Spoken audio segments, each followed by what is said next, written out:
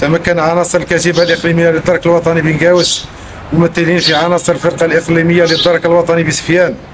من وضع حد لشبكة إجرامية تتكون من أربع أشخاص تتراوح أعمارهم ما بين 25 و 30 سنة مختصة في المتاجرة بالأقراص المهلوسة حيث أسفرت العملية على حجز 2093 قرص مهلوس. يتم تقديم الأطراف أمام الجهات القضائية المختصة فور الانتهاء من التحقيق.